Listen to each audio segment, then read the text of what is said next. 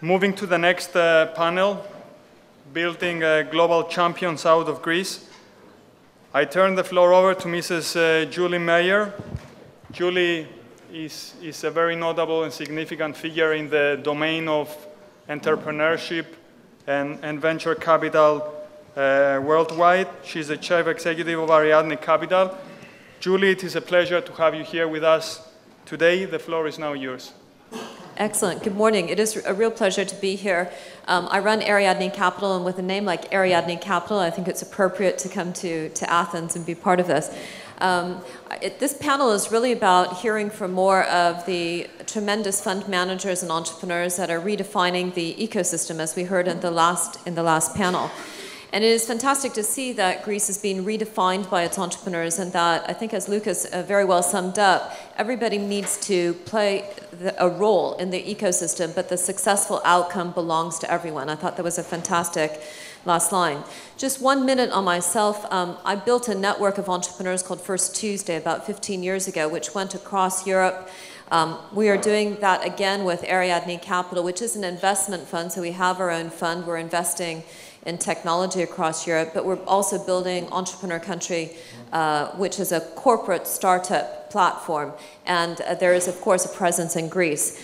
Um, we have a, a, model of entrepreneurs backing entrepreneurs, where leading entrepreneurs, as the um, gentleman from Bulgaria was speaking in the previous panel about how um, you know Bulgaria will develop and contribute a billion uh, euros startup and then reinvest that capital. We also see that trend, and my whole company is based really on entrepreneurs who've cashed out, recontributing their, their capital back into the ecosystem and, and investing in the, in the next generation of entrepreneurs. So that model of entrepreneurs backing entrepreneurs is, is very significant. And I was very pleased to again hear Lucas talking about the emergence of more angel investors who are co-investing alongside of the venture capital funds.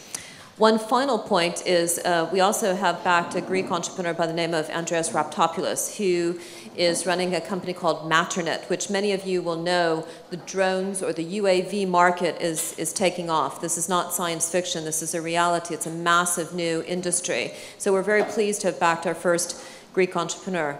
And as a final point before I ask the panelists to introduce themselves, I think it's just really important because the size of the opportunity and frankly the size of the problem sometimes can see, seem so massive that I think we have to be united in a belief that, which every entrepreneur is by the way, that small becomes big and startups change the world. So some of these um, are merely ideas. Some of them have taken on traction. Many of these fund managers have made investments, but the point is they have the capability and the momentum and velocity to change the ecosystem and the economy. So if I can ask um, uh, if I can ask you um, first, Maria, to, to tell us a little bit, introduce yourself to the, to the audience, uh, who you are, and the business that you run. Uh,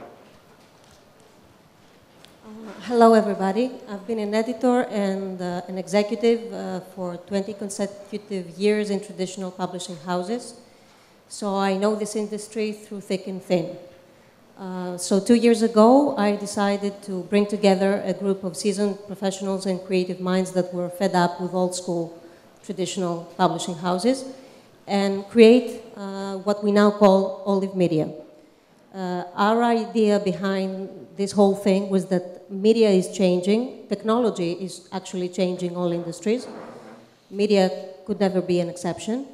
And uh, the way that we consume content all of us readers, is changing, and we have to be able to invest in new technologies and digital solutions in order to find our audience wherever they are. And the audience right now is migrating from platforms to platforms, and we have to be able to find them wherever they go.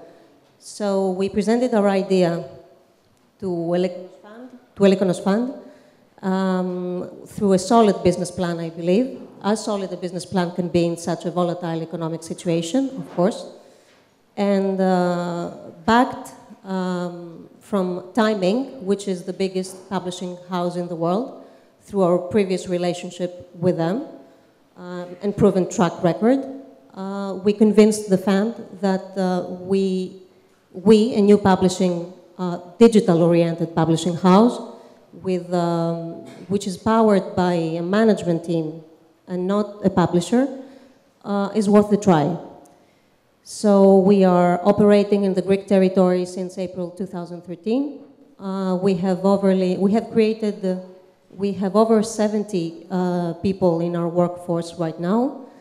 And after six months of operation, we have uh, successfully launched uh, all our products, all three um, mega brands, the, flash, the flagship mega brands that Time trusted us with, uh, which is InStyle, people, and fortune, across all platforms, uh, tablet, web, uh, mobile, and newsstands. And after those uh, six months, I have to say that we are proud to be one of the, in, in over 20 countries that Time Inc. has licensed its products. Uh, we are the only company that is a startup.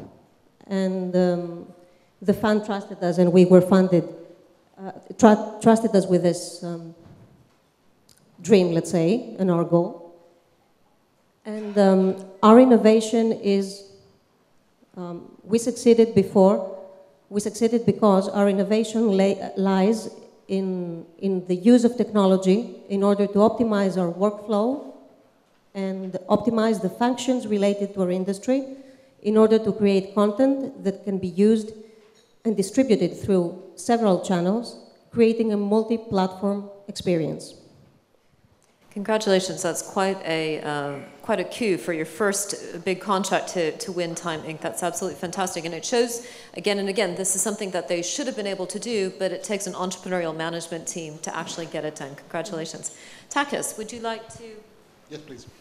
Thank you. Hello from uh, myself also. Thank you for coming here today. Um, uh, we run uh, Elikonos JEREMIE Fund. This is a fund of uh, 17 euros, along with my partner, Mr. Pantelis Papageorgiou. Uh, we started uh, the fund uh, with a deep belief uh, that there is a significant investment opportunity to create value and return in the ICT sector in Greece. We believe that this is uh, fueled because of we are actually living one of the, let's say, global technology revolutions that we experience every 20, 25 years, driven by the mobile devices, the cloud, uh, the social media. So we are fortunate enough to have this global uh, uh, revolution, revolution, that goes uh, around us. However, we also believe that uh, the Greek economic crisis is creating significant opportunity in order to change the, lands, the landscape. And Maria's project is uh, something uh, as an example.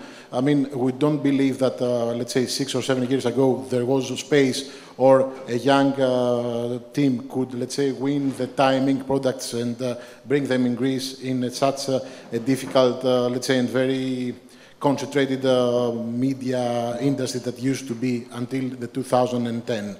Uh, so we run a fund of uh, 17 million euros. Uh, we have been very fortunate enough to team up with the JEREMIE Initiative and the EIF, which without their presence, this effort here wouldn't be here, anybody of us. I mean, we couldn't raise the funds without the JEREMIE, the ESPA, and the EIF involvement. However, we have been fortunate enough to have raised capital from people that are very helpful to us they provide significant value added to our management team, but also to our investees companies. And this is uh, something that we really cherish and try to keep it uh, going. And uh, we invest, uh, so far we have invested in Maria, but also we have uh, two other investments that we're going to announce uh, the following days. And we believe that we're, we're, going to have a total investment of 3.5 million invested by the end of the year and um, we invest, uh, we don't have a minimum, uh, however, we try to invest to our overall portfolio, we believe it's going to be around uh, 8 to 11 investee companies. I mean, we're not going to over-expand because we believe that every single company needs a lot of personal attention, attention coaching, and guidance. And so we allocate a significant amount of our, of our time spending along with uh, the investee companies and our maximum investment size is uh, 2 million euros. Excellent, very good. So again, 17 million uh, euros, 8 to 11 portfolio companies, maximum 2 million in each, in right, each company. Right, Fantastic. Great. If I could um, pass the microphone to Thanasis uh, Kalikos of Odyssey to introduce himself with significant operational and investment experience in Silicon Valley as well as Greece. Thanasis. Uh, I am one of the two managing partners at Odyssey Venture Partners. Uh, we have a 27 million uh, euro fund, I joke many times that uh, it is the largest of JEREMIE funds, but that's like bragging for being the tallest of the seven dwarfs you know, uh, at, at, at 30 million. Um, our investment range is uh, 500, uh, from zero basically, a- any number, to 2 million uh, euros per funding round. Uh, in addition to ICT and, uh, and, and Greece, our investment focus uh, is uh, to find companies that are addressing international markets. Uh, we're not interested in companies that are addressing the Greek market because we believe it to be relatively small. Uh, does not present an opportunity to build really large companies if they are only focused on the Greek market. And uh, we have invested in uh, three companies so far that uh, are known. Piñata, next to us is the CEO and founder of Piñata, uh, George, uh, is one of the three companies we've invested in. And in the next, uh, before the end of the year, we should be announcing two more companies for a total of about 5 million euros uh, in, in, uh, that we have invested in these, in these companies. Our value added is that we understand Silicon Valley quite well. I have spent my 30 year career uh, in Silicon Valley, either as an operating executive in uh, high tech startups to be large companies, uh, as well as uh, a managing partner in a Silicon Valley venture capital fund. Uh, we intend to implement uh, strictly the Silicon Valley. We have no ambition to invent a unique Greek model as such. Um, we believe that most of the companies we invest in will receive subsequent funding rounds from foreign investors, and therefore they need to look just like a standard Silicon Valley company in terms of their capital structure, their business plans, they're expanding. Excellent. So that was 27 million euros and expecting to invest 5 million before the end of the year. Uh, so if we could have George uh, Piñata introduce himself and Piñata. Hello, ladies and gentlemen. My name is George Panoudakis. I am one of the founders and CEO of Piñata. Uh, is a mobile service that allows you to connect with friends and family through interactive messages and greeting cards. Uh, we started back in 2010 when there were no uh, funds like those uh, here. Uh, we have received 2.2 million funding so far from Greek, recently US, Russian, and Chinese investors. Uh, despite our 2.5 years of existence, we are still in early stage because uh, of our project itself. We've just surpassed a quarter of a million users. Uh, here we are. Very good. And if we can have um, Marco of Upstream introduce himself for anyone who doesn't know Marco. Hi, um, I'm Marco, uh, co-founder and CEO of Upstream. Uh, Upstream is a, a, mobile marketing company that now operates uh, in about 40 countries. Uh, we've been around for a while. We're not a startup. We, we were founded in early 2002, and um, basically uh, our experience has been really of a company that is still based in Greece uh, and essentially 99% of our sales are abroad. So, uh, sort of, a, I guess, an export uh, enterprise software technology company. Excellent. Okay. So you see, we have a fantastic panel, and really what we're going to talk about is exactly what it says we're going to talk about creating global leaders out of Greece. And I'd really like for, for the panelists to just opine a bit on what's the profile of the entrepreneur that you're looking for? Um, how do you know when he or she walks into your office? Is it really clear within the first 15 minutes that you've got a potential star here? Or do you feel that you're working to build these guys, or do they have it innately in them? And, and what can we expect from the investment that you're making? Views on that? Why me? I've said in the past that uh, it's, it's like a Supreme Court justice had said once. Uh, he said, I cannot define pornography, but I know it when I see it. Uh, it's rather difficult to give you the specific profile of what a good entrepreneur, a successful, potentially successful entrepreneur should look like. Uh, but when we see them, we recognize them pretty fast. Uh, George it, it was within the first 20 minutes, I knew this is the guy that uh, I would invest in even though he looks very young to me. Uh, you look a lot older now. so, so from that perspective, some elements that we look at is people who are focused on what they need to do to succeed and who do not waste any of their time talking about the things that are getting in their way. If you spend time talking about the things that are getting in your, in your way and how much money you spend in taxes or any nonsense like that, uh, it, you're not an entrepreneur. An entrepreneur is a guy who's focused on what they need to do to succeed. Uh, in building global businesses, a dead giveaway is if the person has gotten off his butt and has gotten on a plane and has visited the places that he wants to make his company successful. In that sense, Yorgos had been to the United States multiple times. He had received investment from foreign investors before we invested in, in, in him. It was clear that this was a guy who understood how he needs to move and operate internationally in order to build an international company.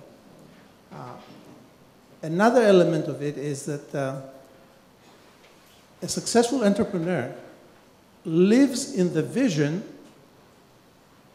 of the new environment, the new reality he wants to create.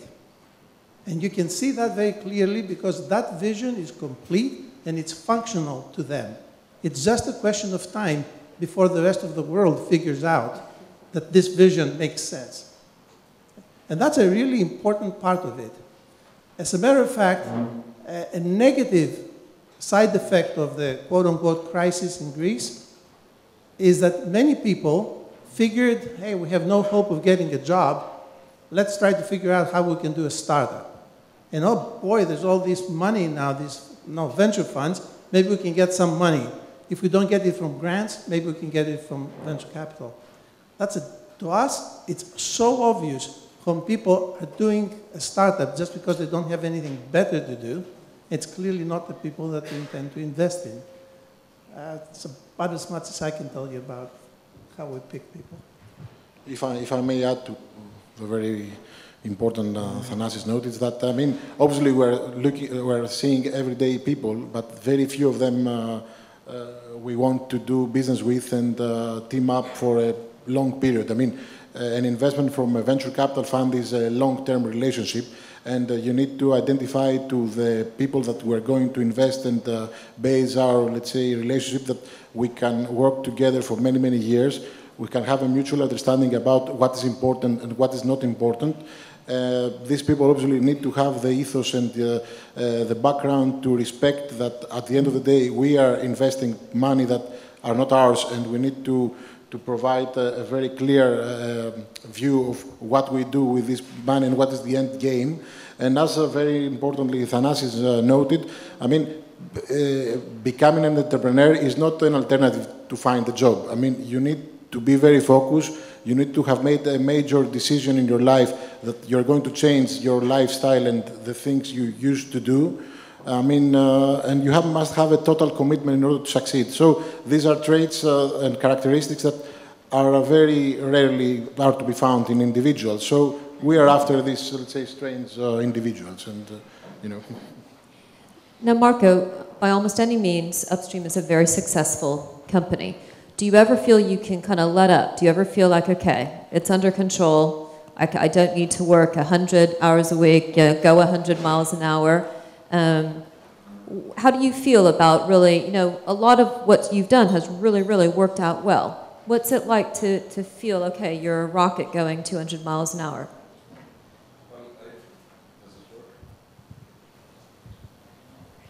Well, I think what's different about the ICT sector in particular, which is the sector I know, is that unfortunately the life cycle of companies is, is, can be much shorter than what it has been in traditional industries. Know, I'll point out uh, that when I was starting, obviously the big story was Yahoo, and you know, look at where Yahoo is today, um, and countless other examples like that. So you're not easily going to meet companies in the ICT sector similar to Coca-Cola um, or Nestle or Procter. Uh, that means that you're always under threat, okay, but at the same time that there are countless opportunities. Uh, es essentially, what that means is that if you are in the ICT sector um, and you happen to be a one-trick pony in terms of product, and you're not investing sufficiently on R&D, uh, you will perish. So you will always have to be fully alert, and you know you will always have to, to be on your toes.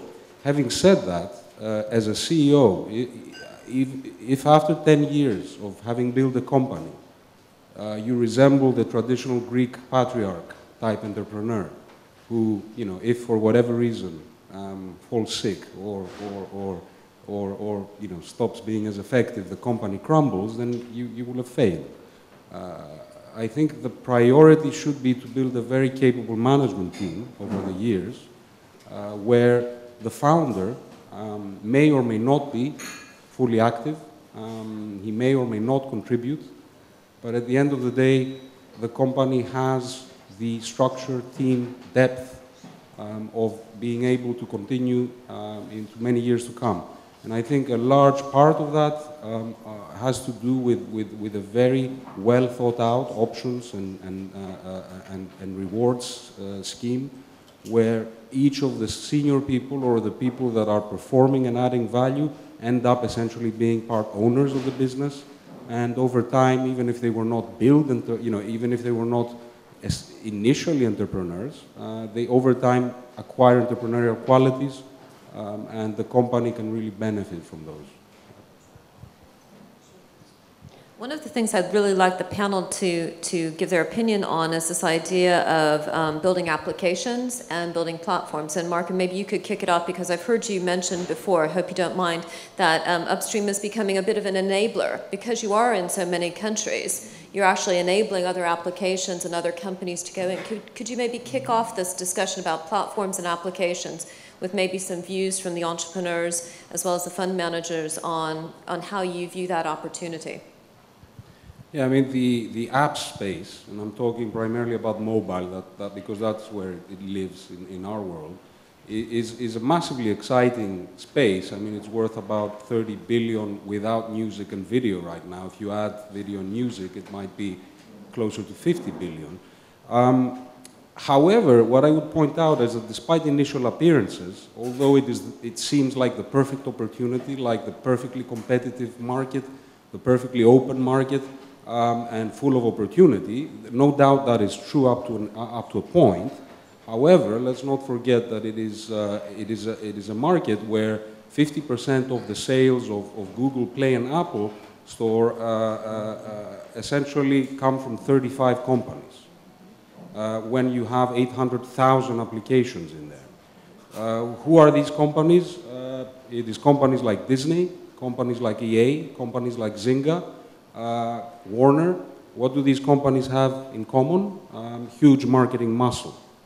So uh, it's not a perfectly competitive market. You do have big success cases like Angry Birds and Rovio, uh, but don't forget that actually Rovio was marketed through Chillingo, a company belonging to EA. Uh, so what we have seen as an opportunity uh, from the upstream perspective, upstream is more of a player in emerging markets these days. Countries like Brazil and Latin America, large parts of Africa, especially sub-Saharan Africa, parts of the Middle East and Southeast Asia. What we have seen there is that actually the ecosystem of apps is developing in a different way. Uh, people don't have credit cards, so the coup that Apple and Google played on mobile operators in the West cannot work because people simply don't have a way of paying other than through their mobile phones. Uh, there are no mass marketing channels available in a lot of those countries. TV penetration in Nigeria is 15%. Uh, so if, for example, EA wants to launch FIFA 2014, as it does in the West, and use mass media PCs, laptops, they are simply not available. Um, and the third thing is there's hardly any consumer data. So we felt that Upstream has a role to play because we have a huge amount of data. We have connections to uh, actually about a billion people in those markets. Uh, we have the ability to allow people to pay uh, for what they purchase. So yes, our, our, our, most recent venture, our most recent product line is a, is, is, a, is a platform, a marketplace, where I would say that disenfranchised app developers uh, can put their applications and sell them into emerging markets. We think that is a huge opportunity. Fantastic. Um, now, Maria, I'd like you to, if you wouldn't mind, look into your crystal ball with Olive Media. Fast forward five years, do you keep on developing apps to become a platform business? Walk us through a little bit about the future. Well, this is exactly the reason why we partnered with a big company like Time Inc. because I'm not Nostradamus and I don't want to be, and media is ever changing. And um, we don't know, even big companies in the world, um, outlets like New York Times or The Guardian do not know yet what they're doing, what the new business model will be. This is the problem of the old school traditional publishing houses that they were not able or willing to change and reshape their models and reshape the company structure and culture in order to make their products and their look and feel more forward looking. Um, I would never venture such a thing in a local market uh, with my own, let's say, local products because I would not be able to have all these answers. So th that's the reason why I, I believe in big international companies with uh, international presence because globalization is touching upon everything. Um, the boundaries do not exist anymore. And you have to be able to trust the R&D of a big company like Time, for example, where they have big departments working in things like this. And you have to be able to compare notes with other countries because it's, uh, it's okay what's happening in the States or in uh, big countries like this, but it's uh, extremely interesting to have information from what's happening in other countries that are crisis-ridden like we are. Uh, so now uh, we are in the process of uh, implementing and uh, building new applications that Time is building as well uh, for mobile mostly because it's uh, the new business that they're looking in. They're trying to figure out the revenue streams right now. Uh, and uh, this, the penetration of mobile is so, it's so vast and huge that you have to be able to bring content and service together with maybe e-commerce and integrate with social media, and this is what they're looking at right now. And um, we have ventured in those six months uh, in the obvious, let's say, existing platforms like tablet, for example, or web. But our uh, goal and dream is in five years to be where time will be. And I'm fairly sure that we will make it. George, yourself, walk us through how your business is going to grow. Five years out from now, what are the key things that you've got to get right? What are you looking for in terms of um, help from your, your partners, your investors, and so forth? But how do you become a global leader in five years' time? I can't say. That's the, the, the most honest answer I can give you.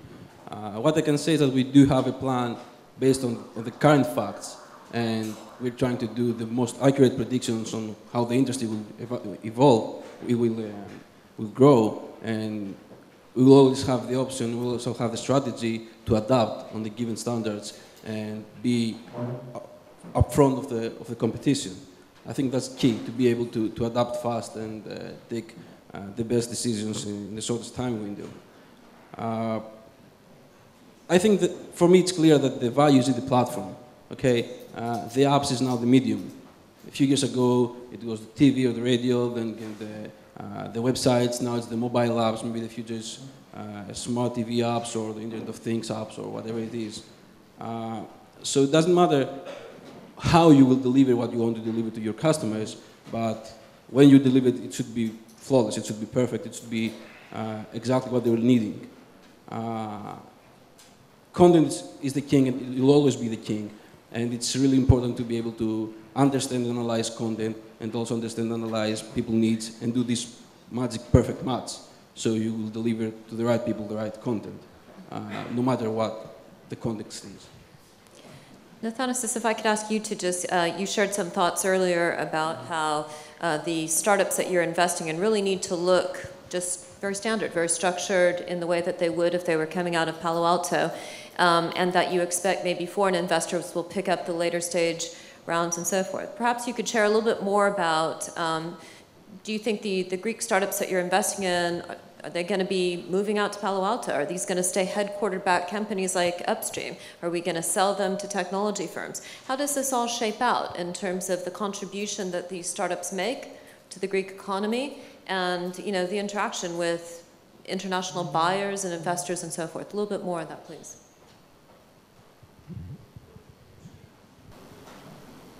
We can see these companies, uh, the, the, companies we invest in, uh, growing uh, here in Greece, as well as developing international operations. We can easily see that uh, these companies will have uh, their product development, R&D type functions in Greece. many of their customer support functions can come right out of Greece. but when it comes to, to sales and, and marketing and business development, that's an international activity. Uh, you have to be where your customers are uh, as such. Uh, we need to appreciate that venture capital is an instrument for funding companies that have the potential to become very large. So the opportunity for, for wealth creation is, is, is, significant, and the employees in a startup should be able to benefit from that wealth that's being created. Uh, and that will have tremendous impact on Greece as well. It's not just the number of jobs that we are going to create through our investments and the growth of these companies, although that can become rather significant uh, as such. Um, if I were to, to, to, ask for a change in uh, the legal framework, I would say make it so that it's much easier for Greek companies to give stock options to employees. That's a little bit difficult to do today. We circumvent that by investing in companies that we force them to become Delaware companies, and then we know exactly the structure that uh, we can manage very successfully. And that's what I mean to some extent about Silicon Valley investors looking at a Greek startup and seeing a structure that they totally recognize, a capital structure they recognize, a stock option plan that they immediately recognize, a business plan that is written in their terms, uh, financials that are shown in the standard GAAP methods so that uh, they can read them and make sense of them right away. And it all uh, seems very familiar to them. That's what we're talking about. As far as, uh, you know, uh, the people in Greece that, that, that, engage in these startups, uh, I feel that we have a better opportunity than just about most places in the world, including Silicon Valley, to create extremely successful companies in the future. Uh, if people think that Greeks are not enter enterprising people, think again. The problem we have is we are too enterprising. The biggest problem we have in our productivity is that we have too many darn tiny little companies. And if you're a tiny little company, you cannot be very competitive. So we need to understand some of these things. So the opportunity through venture capital to create successful large companies also enhances our competitiveness. But fundamentally, I think uh, in Greece today, we have the raw materials to create fantastic companies. Also, in terms of the ecosystem, I think the word was slightly misused before, and I want to revisit this. Uh, having 50 startups that live in misery and they get together once a month to talk about their misery is not an ecosystem. I got news for you guys. That's not called an ecosystem. An ecosystem is a structure that provides all the appropriate and necessary services for a company to be successful. So you're talking about law firms, accounting firms, you're talking about the venture capital community, you're talking about the banks who all know how to deal with, the start, with startups. That's an ecosystem. When you have all these resources come together and be very competent in what they do. Uh, we have recognized that the JEREMIE program uh, was essential and the management that EIF pro has uh, provided for, uh, for JEREMIE was spectacular at a time when there was a lot of uncertainty with what was happening in Greece. Uh, but from my own experience, in terms of the ecosystem, I have to, to, to say that uh, a very critical partner for us was Eurobank. We are not a captive fund, we are not a fund of Eurobank, but Eurobank is absolutely the most significant, the most spectacular private or institutional investor that we could possibly uh, ever hope to have. They did a remarkable job of not only themselves understanding what we were trying to do and supporting it, but also helping us raise money from private investors uh, beyond just themselves. That's part of the ecosystem. It's an extremely valuable part of the ecosystem. And they have done other activities now that I'm not going to market for you at this point, but like incubators and whatnot. It's not part of my domain. But to me, that's an ecosystem when you have all these players that know how to deal with your startup. Uh, Thank you, Thanos. And um, Takis, do you also share Thanos's view that we can build global leading firms out of Greece and that this is the best opportunity for your capital and for your, for your, your focus? Uh, thank you for the question. Uh, to be frank, I have a slightly different uh, approach on the subject. I agree with Thanasis, however, I believe that uh, uh, although the crisis has affected every single person in this room and our Greek you know, compatriots, I believe it has bring in an opportunity in order to change things in this country. And ICT is an agent of, of change, effectively, of doing business. So I believe that uh, although there is a golden opportunity for Greek companies to take advantage of this, uh, let's say, mobile app uh, cloud revolution and uh, try to become uh, members of the global uh, market space, I believe there is also a great opportunity for establishing very good Greek ICT companies catering the needs of the local market, which we shouldn't forget is a Western European steel market with a significant above EU average uh, GDP uh, per capita, and uh, there is always this angle that we, we, shouldn't forget. I mean, we live in a country that these days most of the old school, let's say, companies are nearly bankrupt. I mean, they are uh, over leveraged, they do not allocate funds for research and development, they don't hire new people, they lay off people actually. So there are opportunities that smart people can take advantage of and uh, in uh, established markets that, let's say, five or six years ago, there was no opportunity to do anything. Now there are opportunities. And I think people need to take advantage of that in order for us to live in a country with much better companies and uh, uh workspaces I'm going to invite everybody uh, questions from the floor, but I'm just going to ask one last question to each of the panelists quickly, but get your questions ready so that you can contribute them and ask the panelists yourself. If I could, if I could just ask each of the panelists to just, again, uh, future gazing, what are the top three things that we need to focus to, to make sure that the, uh, the momentum and the ecosystem develops in the way that we want to? So without even thinking about too quickly, what are the top three things that have to happen that all of us in this room who clearly care about the subject really want to see happen? Well, the, the first thing for me is for, for the ICT sector, one of the advantages of Greece uh, has to do with the education of its engineers. So number one for me priority is at least the three strong universities we have, the Athens Polytechnio, Crete and Volos, potentially to be uh, further invested in and also begin working with companies more, get more of an entrepreneurial approach to their R&D. Uh, the second would be certainly reforming the way banks look at loans. Uh, at the moment, you know, Greek banks require physical collateral, no ICT company has anything other than IP, right? They do not have buildings, they do not have factories.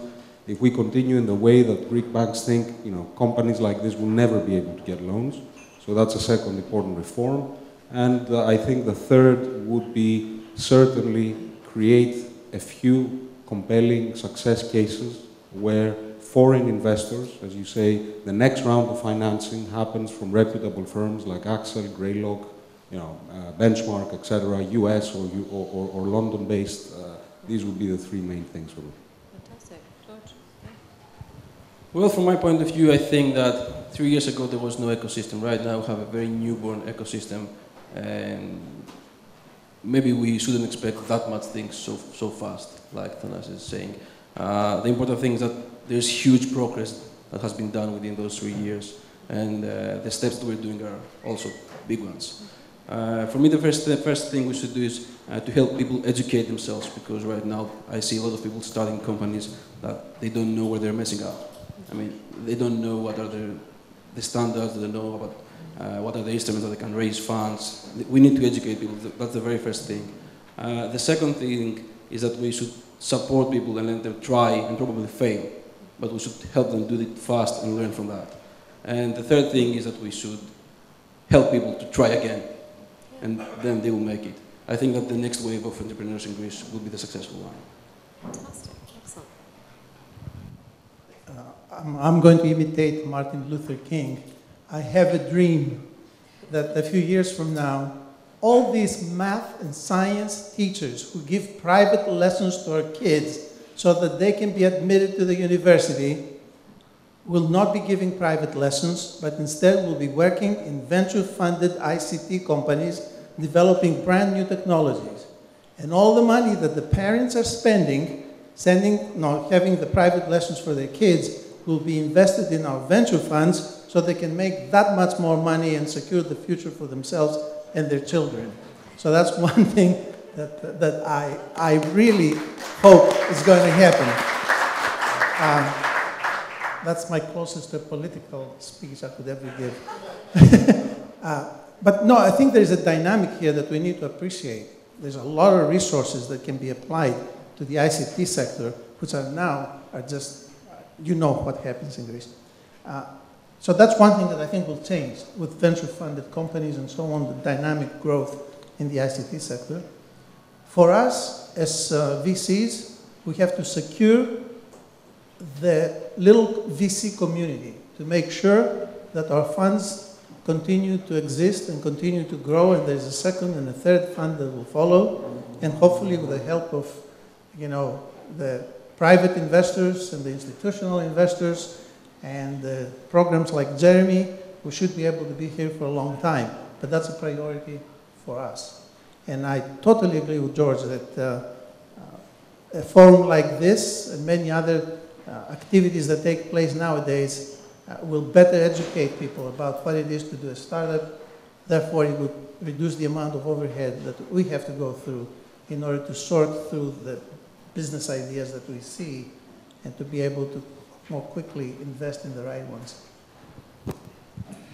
Right. I, th I think the most important uh, thing that uh, at least we need to try to, to do is to replicate the Israeli market.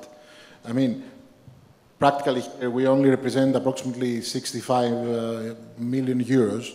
And uh, there are some other uh, companies out there that they do other, they're not investing in ICT, but they have, uh, let's say, several hundred million euros. However, there is a country just, uh, you know, one hour flight away that actually they are managing 5 billion euros. And uh, this is something that, of course, most probably will never become Israel. However, we need to try to create an industry that's going to be there uh, and uh, stay there forever. And uh, bear in mind that five years ago, neither George or Maria would be able to secure any financing for their ventures. And again, since we are a country that we are, have been in the West for forever, and this has been very unfortunate. So I think the most important thing in order to promote entrepreneurship and uh, to create jobs and to give hope is that we try to sustain this momentum and uh, every year the funds under management are more, more venture capital companies uh, formed and exist and uh, there is, let's say, healthy competition among us in order to create and identify new talent and opportunity. This, in my opinion, will drive growth and will make a sustainable initiative of this kind of, uh, let's say, event. Thank you. Well, from my point of view, uh, George and I, all we have to do is be successful. Uh, so these guys keep on funding new ventures and new uh, dreams. And in order to be successful, we need to focus on our human capital to give incentives and vision, uh, because all you have is your people, actually. And another thing that you have to focus on, and it's a great challenge for um, a small, medium enterprise, which is a startup actually, is that you have to avoid all the childhood illnesses that come with it. And you have to have a company, you, you, you don't only have to focus on the product and the quality of the product, because then you might uh, create a house of cards, corporation-wise. So you need to focus on the quality of the product, but then again, you have to build a robust company. And in order to do this, you have to have the knowledge and you have the people, you need to have the people that are helping you. Like Mr. Kaleko said, you need to have this whole ecosystem to teach you how to navigate in this difficult uh, corporation system like a, a company, disciplined company, governance. Um, you have to um, make everything under, um, you have to be disciplined in the way that you have your management. Otherwise, you may run out of money and you may have the greatest product in your hand, but then again, if you don't have the money and you have failed, it's the same thing. So it's great partnering, with, um, uh, with an institutional fund like a JEREMIE type fund because they provide all of this knowledge uh, that you need as a business, as a young business person, a new actually person in business, in order to succeed. Do we have any questions? Uh, got time for maybe two quick questions from the floor. Yes, there we go. Um, fantastic. While we're just waiting for the microphone to get over there, I wanted to just add one point to the last thing. I think, do we have any journalists in the room? We've got a couple. I think there's a special opportunity for the media as well because there's decisions about what you showcase, right? There's, a, there's the editorial decision about whether you choose to talk about the, the new industrialists, the entrepreneurs that are creating the future, or other stories. So whether you want to be uh, shaping the future and, and, grabbing hold of the narrative around an entrepreneur-led Greece or another Greece. And I think that's actually one of the things that is very critical in, in creating the ecosystem. But please, question. Yeah, to Mr. Kalekos. Previously, you used my words and my comment on uh, taxation in order to make uh, another comment and uh, jump into another conclusion. Uh, what I want to say is that uh, an entrepreneur's job is to create and multiply value and optimize everything. Later on, you said that you want to strategically take this, those companies and move them to Delaware, which is a tax haven destination. Could you please uh, state yourself on the issue of the irrational taxation. Because the EIF is giving the money to you, to me, to everybody else, in order to fix the situation here in Greece. So you cannot say that someone is not an entrepreneur just because he not blames but comments on the irrational taxation. Because I know the choice of British Virgin Island, I know that I have a choice of Delaware, I know that I have a choice of Ireland, but it's a different situation. My point is simple. Uh, you can make the comment and you can try to improve the tax laws and whatever, okay? Uh, don't waste your time there. Your company is going to be successful or will fail for a whole bunch of other reasons that have nothing to do with the fact that you pay 25% more taxes than somebody in Delaware or in the Cayman Islands. Okay? That's my point. So don't waste your time. It is what it is. Move forward. That's all. On occasion, if you have the ear of some you know, minister, whisper in his ear, you know, but don't waste your time. Your company will succeed because of all the other things you're going to do. Okay, we have a question from the live stream, um, and maybe, um, maybe this is one for, for Marco to pick up. Would you think Greek startups would benefit from a low-cost, standards-based turnkey solution for ICT infrastructure, that is, hardware, business software, internet, telephony? It's a plus, but not a big deal. Mm -hmm. Certainly not. Yeah. Any other questions? Here we got one right there. Just a correction. Uh, Delaware is a very, very popular place for US companies to incorporate themselves. Any Delaware company, like any company in any other part of the US, last time I checked, pays 33% corporate tax, which is about eight points higher than Greece. So it has nothing to do with corporate haven. It just has, has to do with better, less archaic, better corporate organization. Thank you. Any other questions? We've got time for probably one, one more question. Yes, please, right here in the second table. Microphone making its way to you. I'm Salvatore Lepis from Sevenel Capital Partners. You mentioned private, private money into, into funds, and I think that's a big gap between what we have today and what we should have tomorrow. What are the, your ideas about attracting more private, private funding into the funds? Actually, you mentioned banks, and banks definitely will not be able to fund or, or to, to invest in private equity funds for the foreseeable future in Greece. So, what other ideas you have? Look, I mean, we need to be very frank here. I mean, the only driver that will bring uh, private money to venture capital investment is success. I mean, if we manage to deliver returns that are above expectations and are, let's say, beating uh, uh, other managers in other countries, then we will be easily managed to raise additional capital. If we do not, we will not. I mean, uh, venture capital is an investment, uh, let's say, opportunity and the class of asset that attracts uh, investors that are willing to make a return. It's not charity or it's not, let's say, someone that is giving away money. I mean, we are here to make money for our investors, and this should be very clear. I mean, we're not here to manage, let's say, grants in uh, favor of the state. And uh, I believe that uh, there is a golden opportunity for us to create value and to create return, and this is the only way to create a successful and uh, uh, an industry that's going to be here forever. would you like to comment on that? 100% agree. I mean, this is it. Show me the money. Uh, if uh, people are investing in us today, a few years from now, they need to see returns. And there we have a challenge for this specific set of JEREMIE funds that we will need to raise a second fund before we have had enough time to produce real results from our first funds. Because usually a fund of an early stage fund to mature takes about five to seven years. Within two years, we'll have to be fundraising again.